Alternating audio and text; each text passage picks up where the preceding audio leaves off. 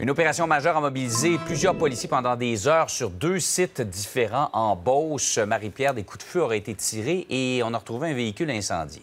Voilà, Jean-François. Tout ça a débuté vers 15h15 hier. Les policiers qui ont été appelés à se rendre sur l'avenue de la Sablière, euh, puisque des résidents auraient entendu des coups de feu qui auraient été tirés. À l'arrivée euh, des policiers, ils ont remarqué des cartouches qui auraient été retrouvées sur les lieux. L'individu visé était encore sur place en début de soirée et il était visiblement nerveux. Il ne serait pas blessé d'ailleurs. La personne est connue euh, du milieu policier.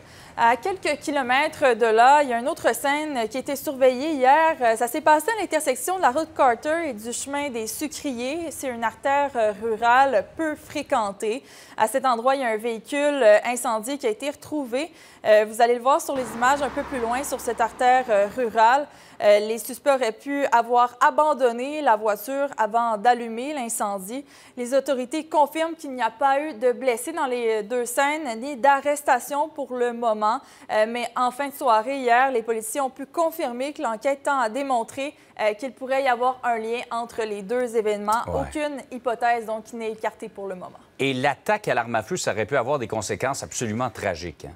Exactement, euh, Jean-François, parce que ça s'est passé dans un secteur où vivent des familles, des enfants, des résidents qui ont été rencontrés par le journal hier affirment que ça bouge beaucoup dans le secteur, que les policiers doivent souvent intervenir euh, sur place parce que l'individu qui a été visé par les coups de feu, euh, ça ne ferait pas longtemps qu'il réside à cet endroit, puis les policiers auraient dû intervenir à plus de six reprises au cours des dernières semaines. Alors, les résidents sont inquiets à l'heure actuelle, puis l'enquête se poursuit du côté des policiers. On ira d'ailleurs euh, à Sainte-Marie en Beauce cet avant-midi. Merci. À tantôt, Marie-Pierre. À tantôt. Le